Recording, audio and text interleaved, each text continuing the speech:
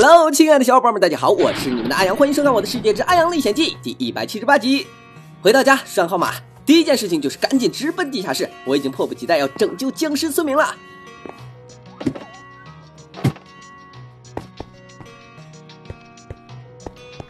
到工具台，一口气点出十个发酵蜘蛛眼。好久没有启动的酿造台里面还放着地狱油呢，把它给换下去。拿出三个水瓶。放进酿造台里面，静静等待虚弱药水出现。呀，怎么是平凡的药水？哎，又搞混了，竟然放了蜘蛛眼进去。跑这么大老远才制作好的发酵蜘蛛眼都没有丢进酿造台里面。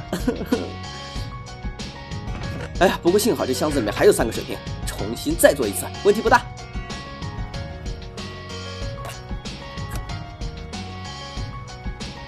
OK，虚弱药水出世了。放上红石，延长它的持续时间。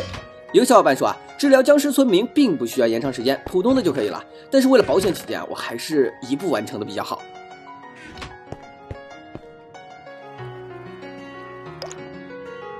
再放上火药，把它变成喷溅型的药水。毕竟僵尸村民自己不会主动喝这种稀奇古怪的液体的，我得扔到他们身上才行。制作完成。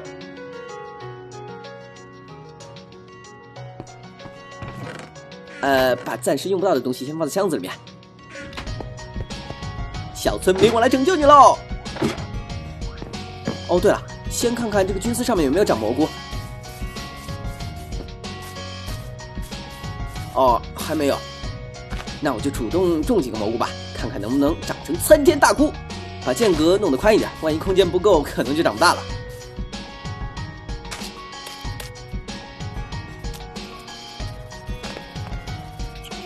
这回可以安心的救助村民了，把这块玻璃撸了。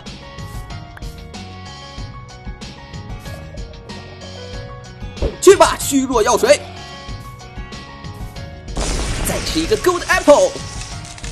哎，这僵尸村民开始浑身颤抖了，他体内的小宇宙要爆发出来了吗？周围原本灰黑色的气泡也变成了红色。哇，这会儿不会没有变成村民，反而原地爆炸了吧？看起来还挺恐怖的。Thousand years later，哎呀，都不知道过了多久了，天都亮了，我盯了他整整一宿没有合眼，这货还是没有变过来。呀，你这是诚心扎我脸的，皮肤一下就变白了。让我来看看你是什么职业的。图书管理员，那我岂不是可以换不少的附魔书？哎，有一本掠夺三，可以可以。我这就去给你拿绿宝石。哎呦，突然出现吓了我一大跳。那那我去拿一本书。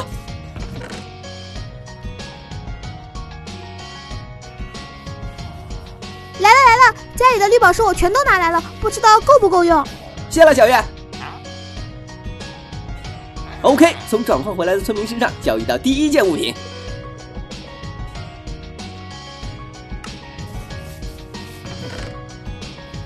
我再用纸交换一些绿宝石，看看能刷新出来什么新商品。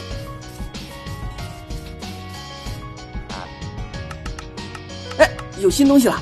哎呀，不过这些暂时都用不上。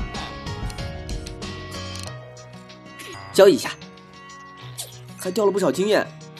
哎，看这村民身上开始冒粉色的气泡了，说明他正在上架新的商品。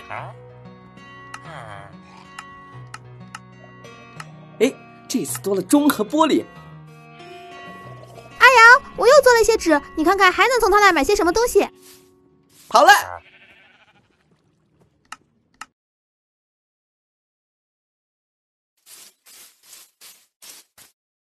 一定要关注转发哦！